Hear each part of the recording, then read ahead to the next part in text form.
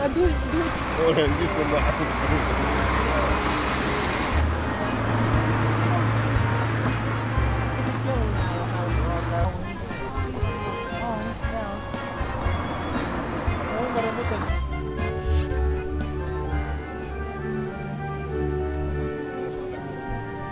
okay.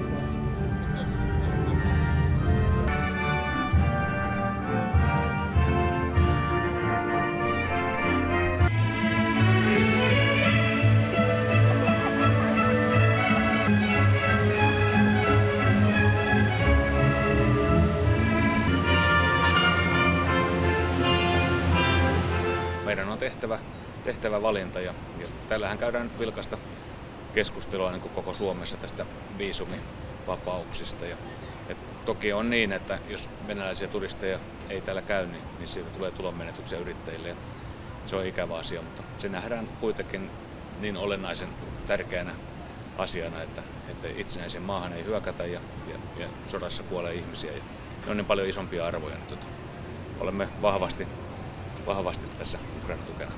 No minä olen ihan samaa mieltä, että minun mielestä pitäisi rajoittaa nyt ja oikeastaan hyvinkin voimakkaasti, koska minä en näe mitään muuta tapaa se, että miten niin venäläinen poliittinen taho alkaisi miettimään muuta kuin rajoittamalla oman heidän maan kansalaisten liikehdintää. Just se on aika varmaan vaikuttava tekijä siinä.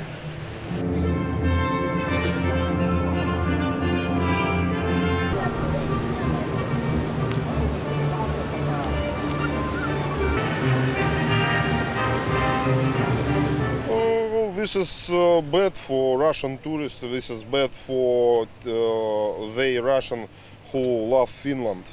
Uh, about many Russian from mm, uh, border, uh, Russian border, uh, love to come here. We understand Ukrainians. Uh,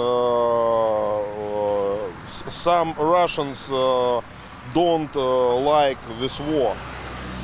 Not all Russian uh, are for Putin and uh, the government and all people must understand this. But we can't uh, do something